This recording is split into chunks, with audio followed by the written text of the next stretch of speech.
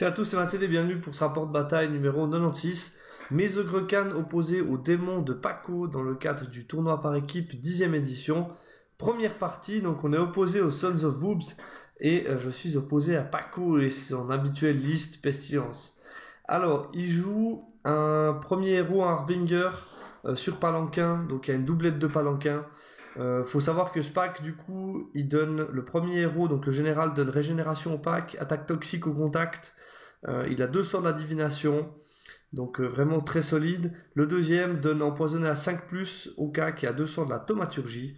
il a aussi l'objet de sort qui permet de faire une relance pour toucher. Et les deux sont équipés d'une halbarde. Le deuxième perso donne également l'unité au contact va être descendue à initiative 1. Donc c'est vraiment pas mal du tout.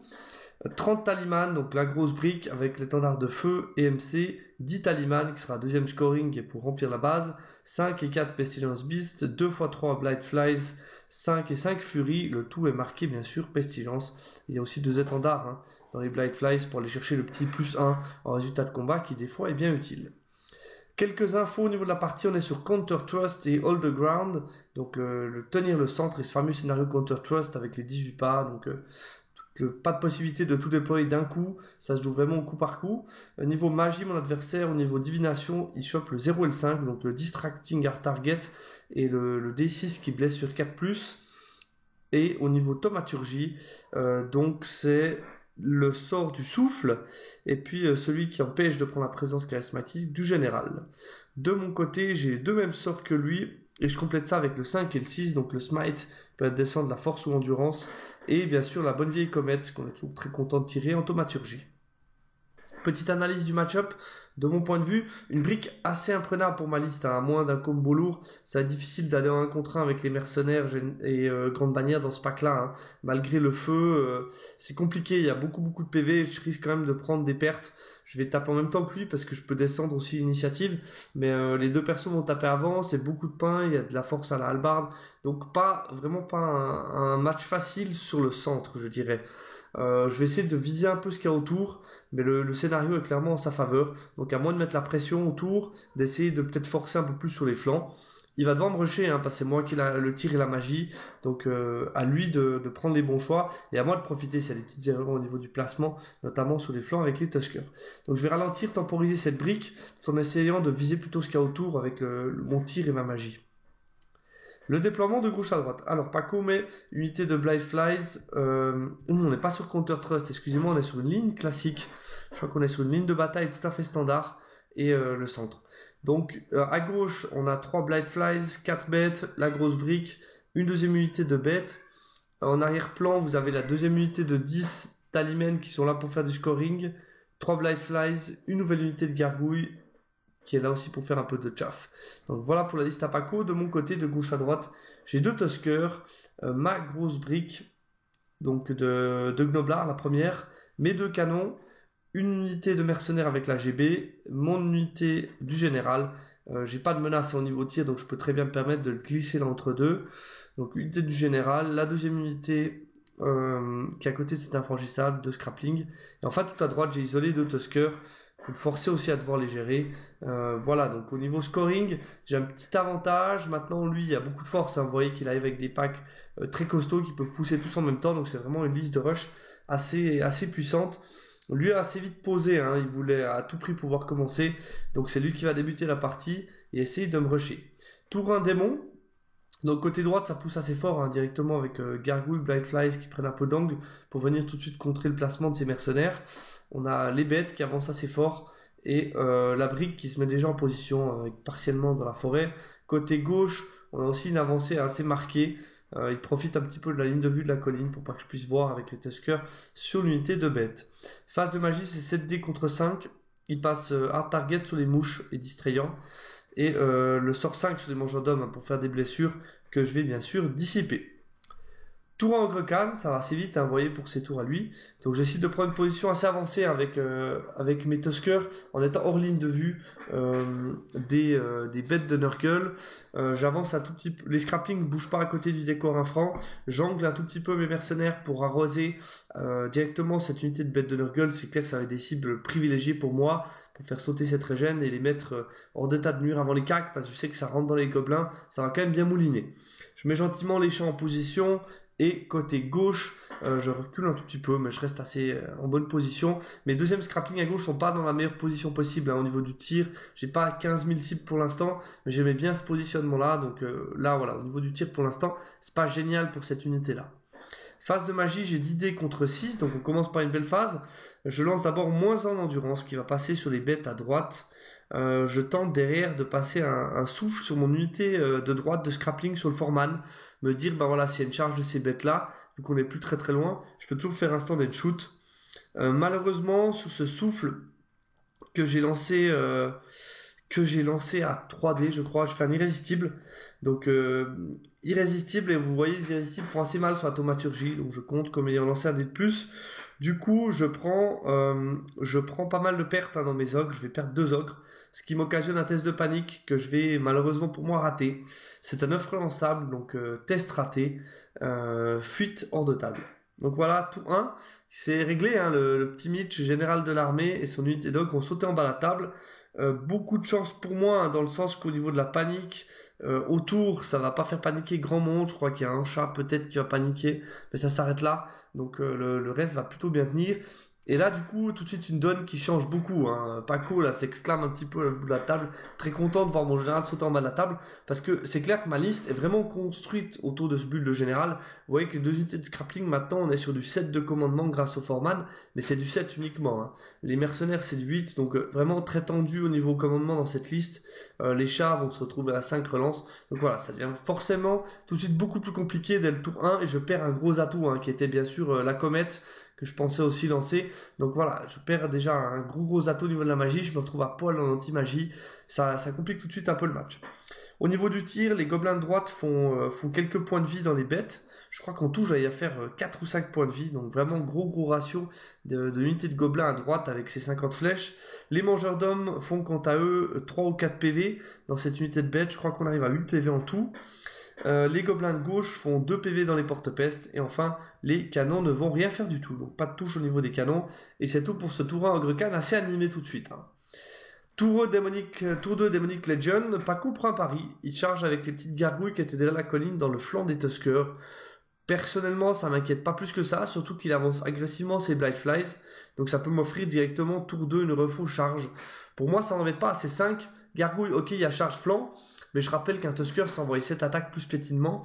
Et il a que de la force 4 CC3. Ça va quand même être compliqué pour lui, à mon avis, de faire quelque chose. Mais bon, sait-on jamais. Il tente cette charge, met les Blight sur la colline, recule les bêtes compris. Vous voyez, hein, déjà deux modèles qui tombent, plus une qui est bien entamée. Donc euh, tout de suite, c'est une unité qui me fait beaucoup moins peur et les recule pour essayer de les garder comme scoring euh, à côté du centre il avance euh, considérablement sa brique, hein. vu que mon général tombe en bas de la table, là il n'hésite plus, il décide de, bien forcer sur ce centre, donc il avance fort avec cette brique, euh, les bêtes avancent aussi un peu, il met les gargouilles en position, et la deuxième unité de Taliman avance aussi un peu, côté gauche, on reste relativement à distance pour l'instant avec les Blight Flies. Donc voilà pour les mouvements qui décident d'envoyer. Euh, assez logique, hein, voyez sur ce centre, parce que j'ai qu'une seule menace directe pour l'instant, c'est bien sûr mon unité de mercenaires, voire des gobelins, mais bon voilà, c'est les mercenaires surtout, euh, il a de la contre-charge possible, donc pour lui c'est une position assez intéressante pour l'instant.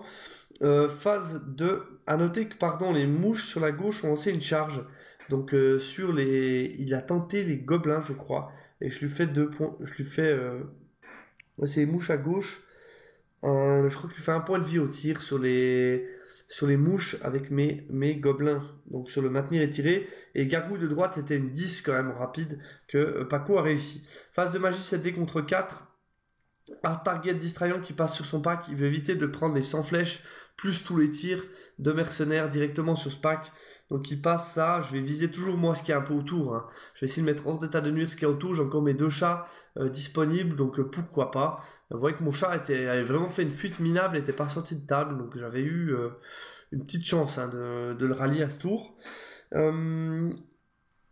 donc hard target distrayant qui passe, je l'ai dit, il tente 3d6 euh, à 4 plus sur les mangeurs d'hommes qui va passer, hein, je mets les dés mais j'arrive pas à dissiper. Euh, il me fait 5 points de vie, 16 touches, 5 points de vie sur les mangeurs d'hommes, ça fait très mal. Corps à corps, Euh, les Ferox, malheureusement, je perds. Euh, je fais pas grand chose et euh, je perds. J'ai un test à 7 que je réussis fort heureusement. Ça aurait été vraiment un drame de rater ce test. Mais très étonné, hein, là, c'est quand même 7 attaques. Ça doit faire beaucoup mieux que ça. Il s'est assez bien, donc bonne surprise. Et bien joué à lui pour avoir tenté ce pari. Voilà ce que ça donne après la refou de combat. Tour 2 Ogre donc je suis englué à droite, je peux rien faire, ça m'embête un peu, parce que du coup je vais me faire charger. Euh, mes 50 flèches ne bougent pas, elles peuvent toujours tirer, je viens chaffer la brique principale, je réoriente mes mercenaires pour tirer cette fois-ci sur l'unité de, bête de gauche. Mes deux canons restent en position, et euh, sur la gauche on bouge pas tellement. donc le, le de sabre a été rallié, c'est un sacre lançable que j'ai réussi, très bonne nouvelle, je récupère un chaff. Les scraplings de droite font 2 points de vie dans les bêtes. Les mangeurs d'hommes font 3 points de vie dans euh, les bêtes également. Euh, à noter que finalement, j'ai décidé, je crois, de tirer quand même à droite. Il me semble que j'ai pas pris la photo au, dernier moment où je les voyais quand même en arc frontal. J'arrive pas trop à déterminer. Mais j'ai noté que là, j'ai quand même visé les bêtes de droite. Les canons font rien du tout à nouveau, donc les deux ne touchent pas. Et au corps à corps, euh, lui est mort. Il me fait encore un point de vie dans les Tuskers. Donc voilà, il me reste 4 points de vie de Tusker, mais les gargouilles sont au moins mortes. Par contre, à son tour, il va pouvoir tenter des choses. Tour 3 Demonic Legion, il charge sur ce côté. Non, effectivement, que mes mangeurs d'hommes avaient tiré sur les bêtes de gauche. Ça me semble plus logique au niveau ligne de vue. Et les, gobelins ont tiré sur les deux bêtes du centre qui euh, restent toujours vers cet objectif. Donc, charge des, mouches sur mes férox. Là, je suis clairement en mauvaise position. Euh, charge des euh, gargouille dans le, le creux de sabre, il décide de pas venir avec la Destar pour pas se mettre en, position trop avancée. Il vient plutôt avec ses gargouilles et pouvoir faire du chaff par la suite. Euh, c'est une charge et un flanc, c'est pas mal pour lui. Les bêtes restent en position sur la gauche. On voit qu'on a perdu quand même des PV suite à ce tir de mangeur d'homme. Et enfin, euh, les trois mouches restent relativement loin pour l'instant. Phase de magie 7D contre 5 qui lance Distracting en aura qui va passer entre les gargouilles et la Destar. 3d6 euh, euh, qui blesse à 4 plus sur le canon que je vais dissiper.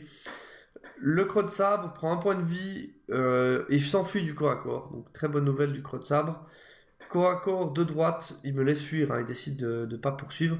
Il me fait 3 points de vie dans les Tuskers, je fais 2 points de vie dans les mouches. Malheureusement, cette fois-ci, je vais pas réussir un test difficile et je vais fuir. Une fuite à 10 pas contre 8 pas. Donc il me rattrape pas à ce tour, mais bon, ça va quand même être compliqué. Voilà après la fuite, comment on se trouve. Pauvre Tusker en fuite. Tour 3 Ogre euh, alors, pas beaucoup de choses. Je vais réactiver un, un creux de sabre en me disant que si je charge les gargouilles, il va pouvoir passer avec la brique. Donc je vais réactiver un creux de sabre. Et chance pour moi, je rallie le deuxième creux de sabre à un point de vie. Donc euh, très très bonne nouvelle, ce, ce ralliement de creux de sabre. J'ai vu qu'il pouvait passer à côté sur d'éventuelles charges. Donc je me suis dit, je vais mettre le, le, deuxième creux de sabre en position malgré tout. Et le forcer à tenter certaines choses. Je commence à bien engluer dans ce centre. Euh, côté gauche, je bouge pas tellement. Hein. J'ai reculé, je crois même un tout petit peu mes gnoblards. Mais on reste joliment en position. Les canons aussi, euh, toujours bien en position. Côté droite, j'avance un tout petit peu mes gobelins. Euh, parce que je me rends bien compte hein, qu'ils commencent à, être gênants avec cette unité-là. Je crois que j'ai avancé les gobelins, j'arrive pas tellement à vous dire par rapport à la photo d'avant. Donc j'ai reculé les mercenaires en fait. J'ai reculé les mercenaires, mais les gobelins restent où ils sont pour envoyer les 50 flèches dans les deux bêtes qui sont toujours là dans le centre.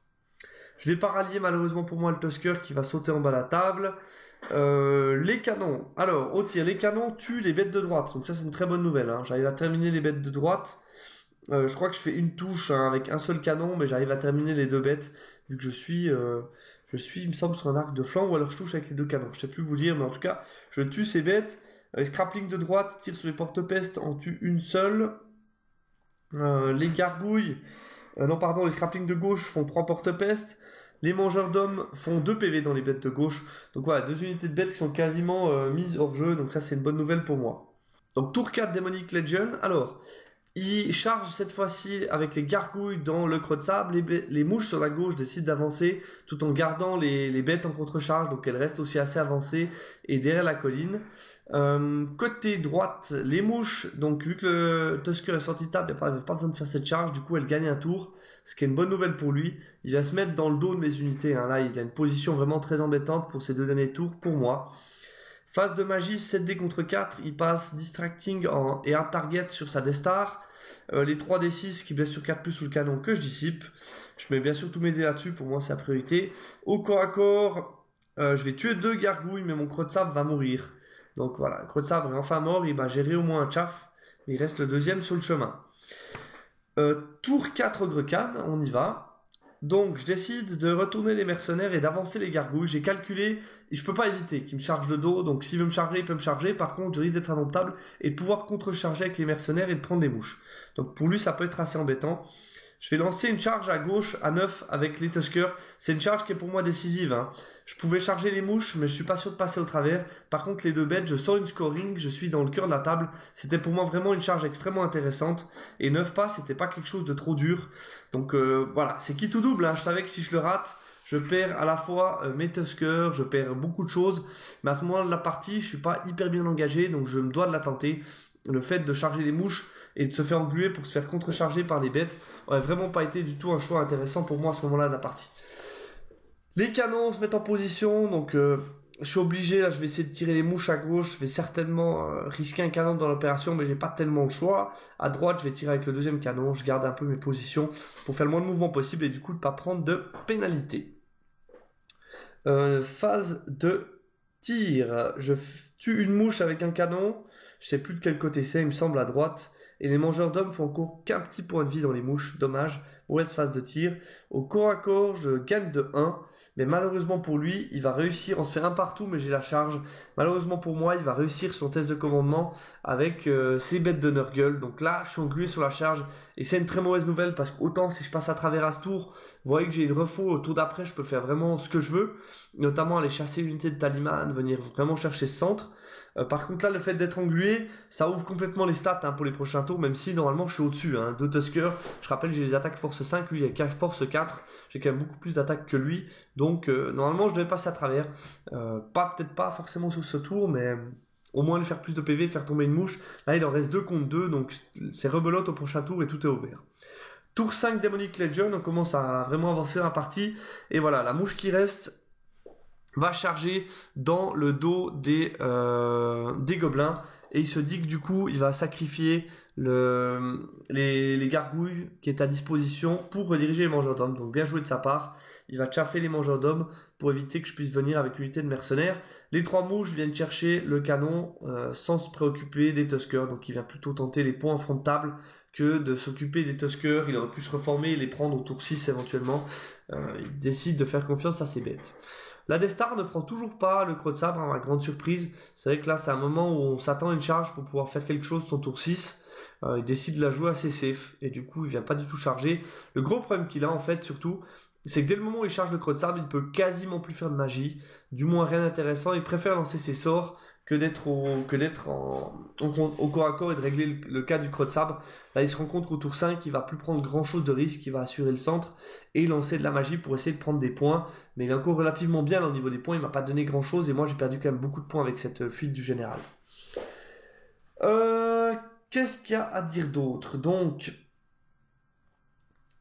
les mouches à gauche, à noter que c'était un 10 quand même au niveau de la charge, hein, qui est réussi par Paco, donc vraiment belle charge. Phase de magie d'idée contre 6, euh, distrayant sur les bêtes que je vais dissiper. Je peux pas me permettre de prendre un distracting sur ces bêtes qui sont corps à corps contre les euh, Tuskers, parce que sinon je vais vraiment perdre.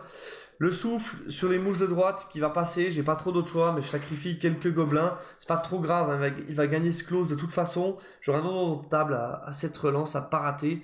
Malheureusement, j'ai pas trop d'autres choix. Euh, après, ça dépendra des pertes qu'il fait au niveau du souffle. 3d6 euh, sur le char qui passe, malheureusement, il me fait un point de vie, heureusement. Corps à corps, il me fait 3 euh, points de vie dans le cac de gauche contre 1 point de vie. Le canon saute en bas la table, réussit sa, sa refou et pas me poursuivre. Moi, je réussis ma panique. Donc voilà. Euh, Ferox contre bête, on se fait 0-0. Et corps à corps de droite, je suis sur un 6 relançable que je réussis. Donc très bonne nouvelle, c'est vrai que ça aurait été dommage de, lâcher 450 points de gobelin là-dessus. Euh, voilà, donc beaucoup de chance sur ce test. Hein. Autant j'ai raté un test très facile en début de partie, autant là euh, j'en réussis un qui est franchement extrêmement compliqué. Donc euh, beaucoup de chance là-dessus. J'ai pas trop de, moyens de l'éviter malheureusement. bien joué à la Paco d'avoir provoqué ce test. Tour 5 Ogre et voilà, ça il l'avait pas vu, je sors la GB qui vient charger le flanc des mouches. Euh, dans ma reformation, vous voyez que je suis passé en rang 5, ça me permet d'être pas loin du tout de l'objectif par la même occasion. Mes mercenaires, quant à eux, vont aller arroser les mouches sur la gauche. Euh, je viens mettre les gobelins tout près en horde, mon canon un peu derrière, encore une phase de tir, il reste où il est, juste fait un pivot. Et puis, ben voilà, le reste est toujours engagé, donc c'est tout pour mon tour 5. Mes d'homme font qu'un petit point de vie dans les mouches, malheureusement. Le canon, euh, comme d'hab, je tente une mitraille quand je suis prêt, et malheureusement, ça sert à rien, comme d'habitude. J'aurais pas dû le faire. Donc la mitraille qui fait rien du tout. Le corps à corps de gauche, je lui fais... Euh, il me fait deux points de vie. J'ai un test à 6 que je réussis. Décidément, beaucoup de tests difficiles réussis euh, pendant cette partie. Corps à corps de droite, la mouche, bien sûr, va des pop.